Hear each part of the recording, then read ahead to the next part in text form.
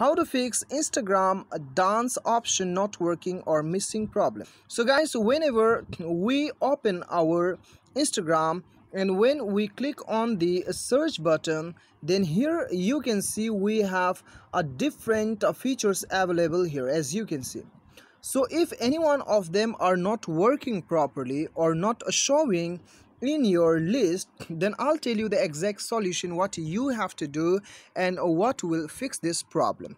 So guys before proceeding further consider to subscribe our youtube channel and hit the bell icon so that you'll receive all the latest update.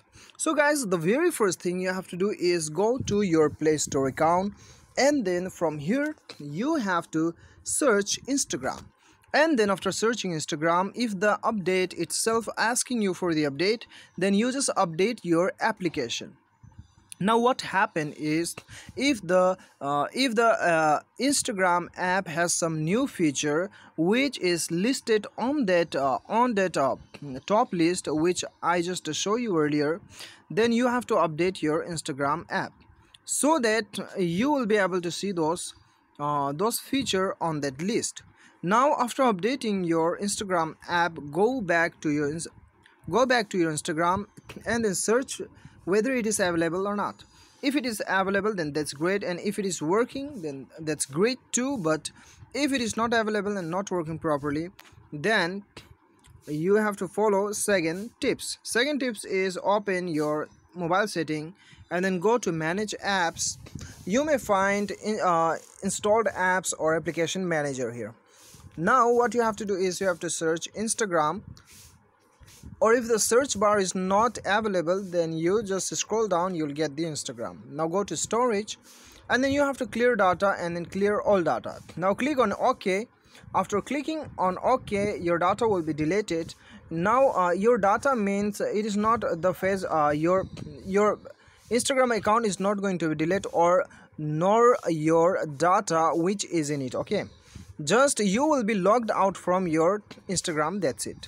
Now what you have to do is go to app permission and then you have to allow all this permission. If it, if it is already enabled then just off the permission and then enable it again.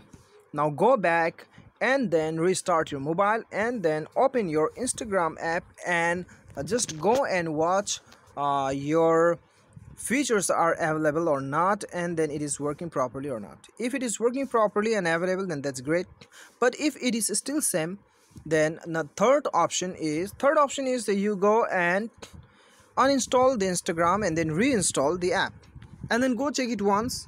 If it is same then come back go to about phone on your setting and then go to system update. Now if the system is asking you for the update then you have to update it.